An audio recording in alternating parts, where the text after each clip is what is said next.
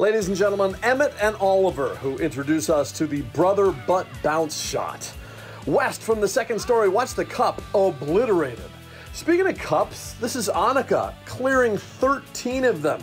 It's got to be a record. Great job. Cullen's a slugger, and so mom might want to back up next time. That's called buzzing the tower. Parker, Turner, and Sam from a few weeks back when you needed to wear your coat. And the Cahills, they're missing swim team. But you know what? They can still get in their laps. Love it. And by the way, all the past highlights from home are on the KARE 11 YouTube page if you want to check them out. That does it for sports. We're back after this.